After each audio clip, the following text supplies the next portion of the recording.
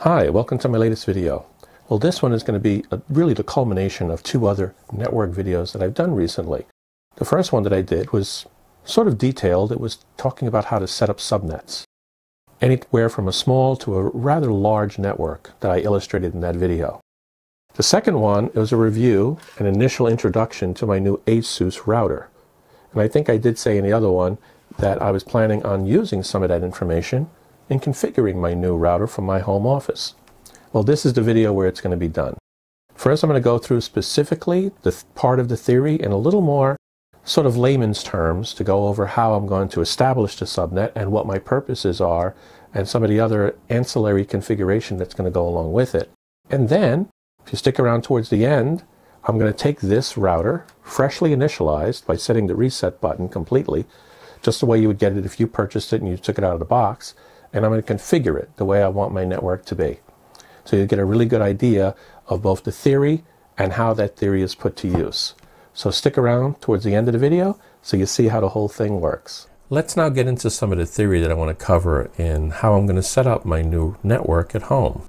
I'm calling this the home office and small office network discussion. Let's start off with a topology, the first choice. It is a standard internet cloud connected to a modem, usually in your home or office, and then connect it up to your router. Now, the router could be provided by the ISP, the internet service provider, or it could be one that you've bought like I've done. I think I'm now up to my fourth one, you know, for this particular configuration. It's given an outside address. Now, this is an address assigned by the internet service provider, which you have very little control over. You have to know how they've set it up, so you have to configure certain parameters in the router in order to get it set properly, but you have no choice in what the number is going to be. That's an address range that is owned by the ISP on the internet. But you can assign the inside addresses, and what I've assigned to this particular router is 192.168.30.200. And you'll see how that's derived in a few minutes. I've also chosen a subnet mask. The subnet mask of 255.255.255.0 means that we have a total address space that includes 256 addresses, amongst which 254 are usable, as I'll explain in a little bit.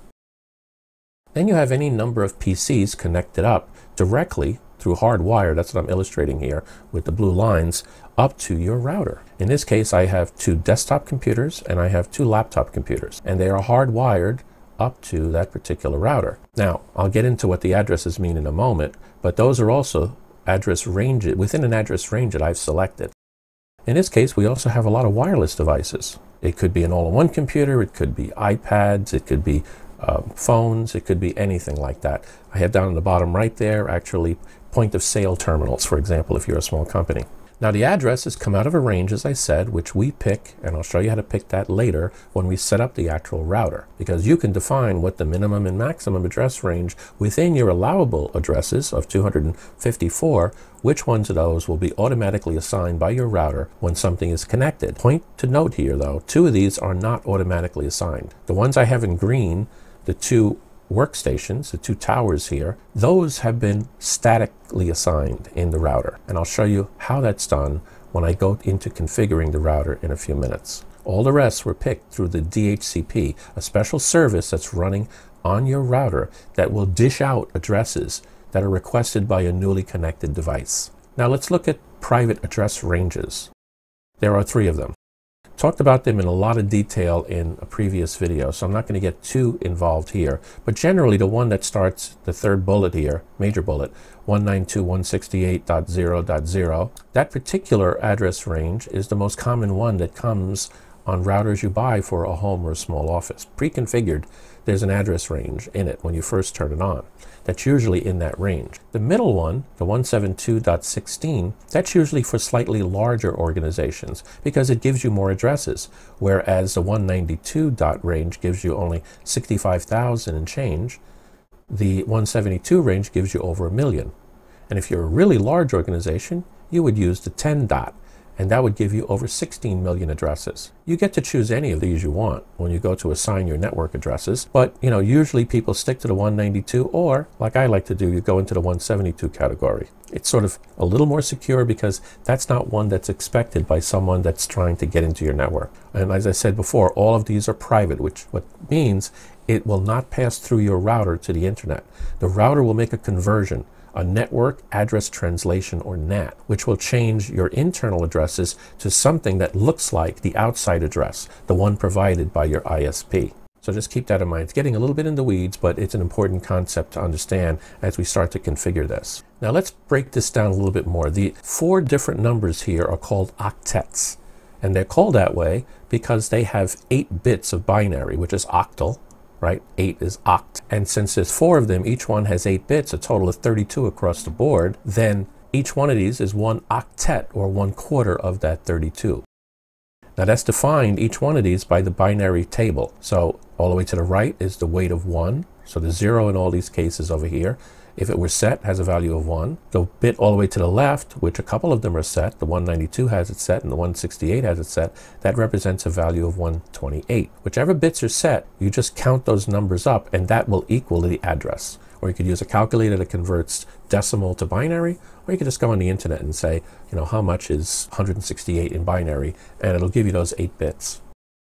Now let's talk about the subnet mask. Now this is sort of a little bit convoluted explanation, but I'll, I'll go into it in a little more detail. It is used to define your range of usable addresses. That's the bottom line to it. And you can define your range of usable addresses as the whole chunk that you initially wanted it to, or as I mentioned in my other more detailed video, you could break it into smaller networks, but I'm not going to cover that in this video. The most common subnet mask for small businesses and homes is 255.255.2550, like I said earlier. And that gives you 254 usable addresses, since the first one, the zero, is used to represent the actual subnet address. So when you're asked for a subnet address, you always end it with that zero at the end. In the case of this particular subnet map. If you want to do a broadcast to every device on this network, that's what the 255 is for. So if a message is sent to any address network, and the network address in our case would be 192.168.30, and then we put 255 at the end, that same message will go to every device on your network. You don't normally do that, but the devices that you connect to it might. So just keep that in mind. We have that's why it's a reserved address range in most cases. Let's look at this and breaking it down a little bit. We saw this earlier. This is the actual network address that I chose, and we broke it into its four octets in binary. When you look at this, though, the way it works, the first 24 bits represent the network address. The last 8 bits represent the device address. And that's determined by your subnet mask, as I described earlier. And it's done that way because 255.255.255.0, it sets all ones to the left, the first 24 bits. And the ones that are left zero all the way to the right, well, they become what's left over for your addresses, for your devices that are on that network. So part of it is your network, and the remaining part of it is your device address. The network part is fixed. It'll always be that number. It does not change. This is also referred to as a slash 24 because when you convert this 255.255.2550 into its octets and binary, you have 24 bits that represent the address. So a shorthand notation, as I explained in another video in a lot more detail, is calling it a slash 24. The actual address range you then have by picking this, assuming that the only thing that's going to change here is the host address part, the last 8 bits, then it'll start off at 192.168.30.0. That's the lowest address in the range up to 192.168.30.255, which is the broadcast address. The two ends are not usable, but all the ones in the middle are. So this gives you the actual usable address range when you've defined it. So it starts off at 30.1 and goes up to 30.254. I'm leaving out the top two octets just for simplification purposes. What I want to show you though is a second alternative subnet breakdown, and this is the one I'm most likely going to use. In this one, we actually have the same network address of 192.168.30. However, and that would represent the address, I'm changing the subnet mask to 255.255.254. And what that does for you, if you look at what I have now highlighted in green and red, is we only have 23 bits for the address because I have 254. That last bit in that octet is not 1, it's 0, as shown here in the subnet mask. By doing that, it rearranges the address part and the device address part. So now we have 23 bits, but we have 9 bits for the actual devices. What that'll do is double addresses for devices rather than having 256.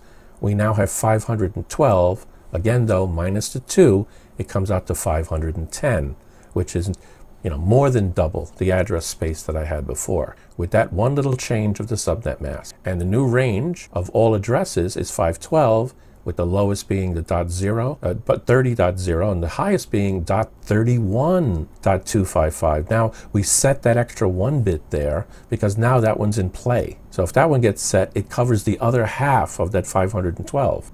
Again, subtract the 2, we have 510, which will then result in a total usable address range from 30.1 up to 31.254. And if you add that range up, it's kind of hard to do the math, it's not normal math here. The fact that we set 1 automatically gives you 256. And then we add to it another 254, that comes out to 510 addresses. So this is important to understand just by changing that one bit, how it changes things around. I could take this even further, but now we got to be careful because the address is actually using some of these other bits. If I wanted to make it, let's say 10, 1024 addresses, I would have had to pick a different address than 30 so that this bit would not have been needed. So I could have made it um, 28. Dot 28 would have worked fine rather than 30. And that means that this bit would have been cleared for the address, and then I could have used it for more devices, as one example.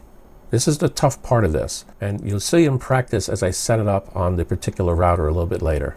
Now, one thing I do want to cover is in addition to setting up the addresses in a particular group, which is much larger, in this case 510 addresses, I want to reserve certain groups of those addresses. And that's what I'm showing here. I'm going to do something very specific. Now, a lot of this is just documentation, and then I have to follow through in that documentation when I configure the addresses on the devices and I configure the router. The only part that I really have to tell the router about, though, out of this, is what is my DHCP address range. And I'm going to tell it, this is again based on the previous example, I'm going to tell it that my DHCP address range will start at 030.002 that's the lowest address that can be given out. Of course, it still has the 192.168, but then it'll be .30.2. That'll be the low one, and the highest will be .31.199. That'll come out if you did the funny math. Then you get 453 addresses available for your DHCP ranges. That's a lot more devices that are available to me for DHCP. But a lot of devices, are indicated on the initial example, I am not going to use DHCP for those. I'm going to hard code them. I'm going to make them static addresses. And I've chosen groups of addresses for doing that. So starting at .200 or .31.200 and going up to .31.209, a 10 there's 10 addresses in that range, that's where I'm going to put my switches and my routers. I have more than one, so I'm going to assign those addresses in that range to those devices. They're not going to be drawn from DHCP. I'm going to do it static, hard-coded. I'm going to do the same thing for my servers. I set up a range of .210 to .239, or a total of 30 addresses. Those are going to be my servers that I have in my network. Don't have that many now, but someday I may. And I'm going to do the same thing for printers. I actually have two printers right now, but I'm reserving space for up to 14. Will I ever use it? Probably not but this gives me some flexibility. I know now that I'm organized in a way where I always know where to look for printers, I always know where to look for servers, I always know where to look for the switches and the routers. And the DHCP will then have this range to dish out to any device that doesn't have a static address assigned to it. It will not touch any of these addresses because they're outside of this address that I will tell the router. What I've also done is I've reserved the very first address that would have been usable, the .001, the 30.001 to be specific. I'm leaving that unused. Now, there's a reason I'm doing that. That's for security purposes. That's why I put my switches, including my router itself, up in this address range starting at 200. I don't want somebody, if they somehow get some information about my network, to look at the first address. Because if everybody does it, and the routers themselves default to it, if you pick a network address of, like I did in this case, 30.000, then it puts the router at 1. Well, you can change that. It doesn't have to be at 1. So I am going to put it at a high address so that it's not obvious. It makes it a little more difficult for somebody to try to understand my network and then hack into it. It's just a personal choice based upon the fact that I'm a security person by heart and by training as well early on in my career. So anyway, this table here is how I'm doing it. You could do it a million different ways. Now let's look at the new topo topology that this will cause. I'm calling it topology number two. We have the same thing, the internet cloud, we have the modem, we have the router, we have the same outside address, we have the same address with one difference for the actual router. It is no longer .30.200, but .31.200. I'm pushing it into the upper 256 addresses that I have available based upon that table I just showed you. The subnet mask, and I've highlighted in red the things that I've changed from network topology number one example that I showed earlier. So it changed, so 254 is a new number. The same thing here. Well, the two devices that are the laptops that are pulling from DHCP, it's very likely, there's no guarantee that those addresses will be assigned. I'm just making a guess that since these two laptops are DHCP, those are addresses they could get because that's within the range of DHCP addresses. However, the two servers that I have here, the two workstations, excuse me, they are going to be at 31.210 and 31.212. Now, how do I know that? Because I'm going to set those addresses in those devices. They're not going to use DHCP to get their addresses. They're outside the range as well for the DHCP, and so I hard code those in. Let's look at the other devices that I showed earlier. Well, now, just by pure, this could happen. There's no guarantee. They could be down in the 30 area as well. I put them all at the 31 because the DHCP address range has now extended into that 31 part of the overall address range. Now let's take a look at uh, a common network topology based upon this, and this is going to be very close to what my network looks like. You have the internet, you have a modem, you have a router, they're in that order connected. Then I have a switch, a main switch with uh, 28 ports on it. Of course, the router is going to have the same address as I said earlier. The outside address is going to be assigned by the ISP. The inside address is going to be assigned by me, hard coded as 31.200. The router is then going to be connected to one of the ports on the switch. It's basically going to allow me to have that many more wired connections within my home office because I have a lot of wired connections here. 24 sometimes doesn't even make it. I also have a smaller router. Now I showed one here that is also wireless it doesn't have to be wireless. It could just be like the one that I put in for, for real, which is the, the Zyxel one, which has an additional 12 ports on it. But I have a 10 gig connection going between my switch and my studio so that I have local connections within my studio. Address wise, this switch has, is manageable, so it's going to be given the address again static of 201. And this small switch here in my studio is given the address of .202. So this is just an example of how they all would uh, would be in terms of the, within the device range, right? This the routers and switch area that I defined earlier in that table. Now let's go ahead and let's take a look at the configuration of the actual router, the ASUS uh, AX89X. What I've done is I've reinitialized my new ASUS RT-AX89X router, and these are the addresses that it came default with out of the box, except for the WAN IP address. That's an address that it pulled from my local network because this device now thinks my local network is the ISP as I showed in my earlier video. I also defined, however, the network SSID names for wireless, both 2.4 and 5 gigahertz, and I've set up the admin name and the password for admin to this. So those are the only things that I've changed. Everything else was automatically selected by the router in its default configuration, which I will now change. Let's take a look at the client list first. This is the DHCP. I have one PC connected to it, which has the name test11 and it assigned the address of 168.50.64. That was an automatic assignment because that PC is set up to get its address using DHCP. It does show that the interface is wired. Now let's take a look at some configuration of this and we might change a few things. First of all, I suggest you go into Traffic Analyzer and make sure that that's turned on. By default, if you look here, Traffic Analyzer is off. It doesn't use that much resources and it comes in very, very handy. So if we click on this, it turns it on. I have to agree to what it's going to do. That's fine. I'll agree. And it's now set up. Now going forward, I will have a history of the actual traffic that's going through here hour by hour by device that actually is connected to the router. And you know, we'll see what it looks like toward the end and see if we pick up you know, some of this. I then want to go ahead and open up the, the area called the OpenNAT. So in OpenNAT, I want to show you something. This actually shows the network address translation, as I mentioned earlier in the first part of this video, where the internal addresses, in this case the 192 addresses, get converted to something that looks like my ISP address, in this case here, a 172 address range. But look what this particular router has. It knows that it has to get certain ports passed through. It, it actually creates pass-throughs for certain ports depending on games. This is a gaming router and it has these games already connected to it and it knows what it has to set up for these games to function properly. these games will work very well because the changes needed to the router pass-throughs will be set properly. And you can add new ones to it as well. I just wanted to show that as something that's a nice feature of this router if you're into gaming. Now, the next big one, which we're going to spend most of our time, is in the LAN tab down here. So if we open up the LAN tab, the first thing that we will see here is a host name. Now, this is the default host name. You can change it to whatever you want, though. All you have to do is highlight it and overwrite it. So let me change it to uh, dr-router1, just in case I get a router 2. But I also want to change the IP address. I don't want this address. Remember what I designed on my particular configuration? I want this address range to be 192.168. That's fine, but I want to change it to 30. That's the network address that I want. And the IP address it's asking for here is the actual IP address I want to assign to the router itself, which is a device. And as you recall from my example, what did I assign that device to? Device 200.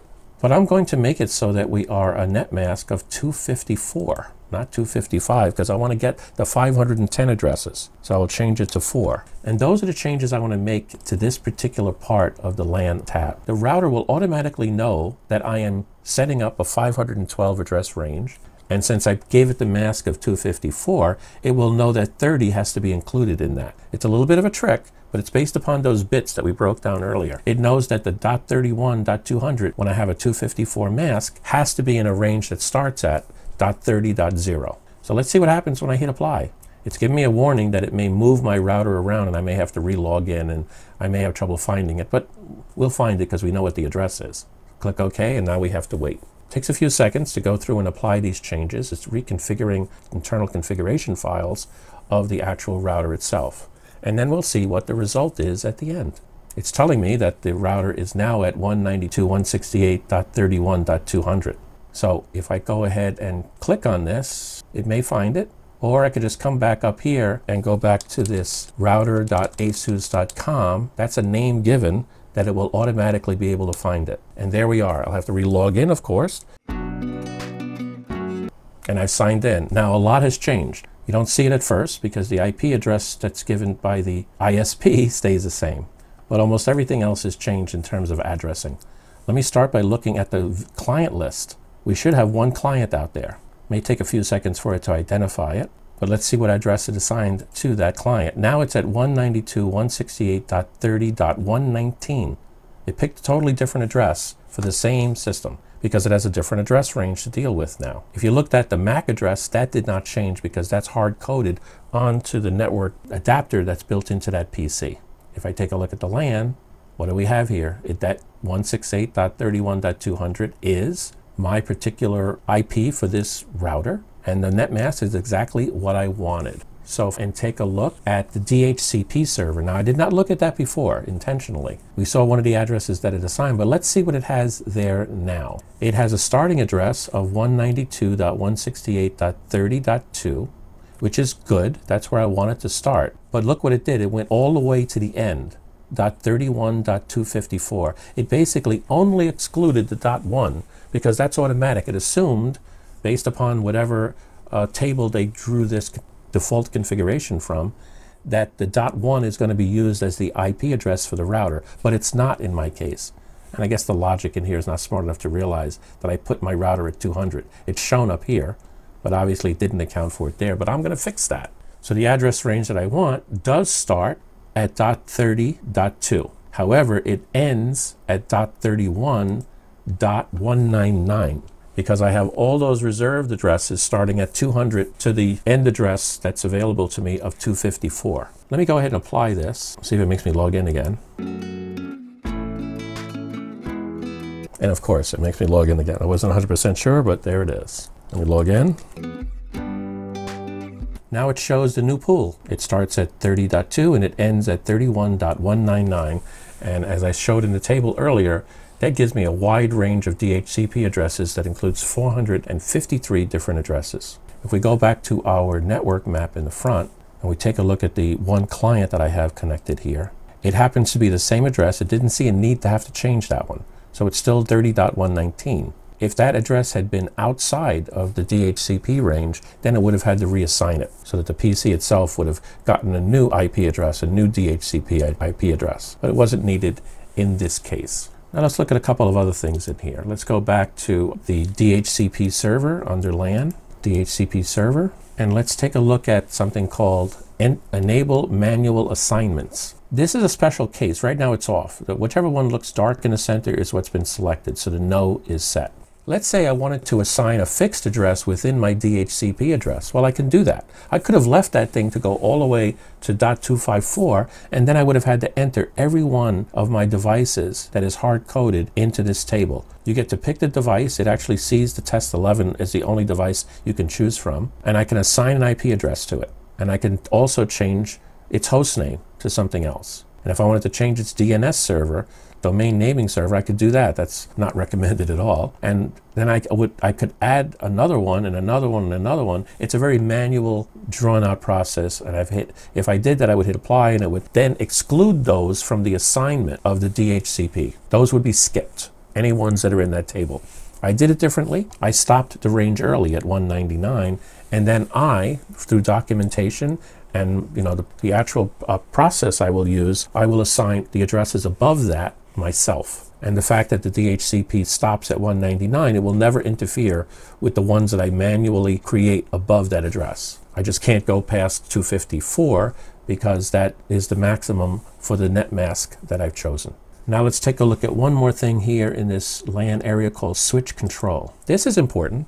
This has the ability to control my special ports on this router. This is not covered in the manual. That's why I wanted to cover it here. So you will see things like the 10 base T, which is the RJ45 connector, and you have the, that's 10 gig, and we also have the 10 gig for the SFP. So there's two more ports on this particular router, right? And I can assign them to special things here. For example, I can assign them to a particular speed. I can bring them all the way down to 1 gig if I wanted to, or I could fix them at 10. I want to fix mine at 10 because I will be using them only at 10. So I'm going to assign both of them. And of course, the SFP can only go 1 or 10. It can't handle the 2.5 and the 5 that can be handled by the other port. But it's the fact that these are left off, I just wanted to cover them here. I would then, of course, apply that. It's probably going to log me out again.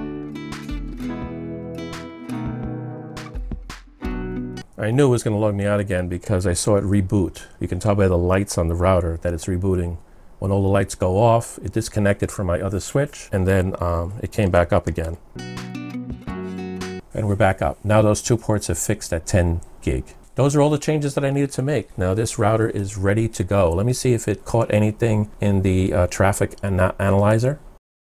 And it did. We got activity for the last hour. Only on that one device, test 11, and we could see the type of stuff that I did. I did a lot of HTTP protocol because I was talking only with the switch through HTTP. I had some secured SSL. I had some general access. I had some Microsoft Teams for some reason. And Microsoft.com got called in. I'm not sure why all of those different ones. I could get the full list by clicking on more and I can see all of the stuff that I had. There was a DNS activity and, and several other things that were done by this one PC. So I just wanted to show you that that is something that uh, we get when we use it and we have this function enabled. Well, that covers it for this video. Until the next time.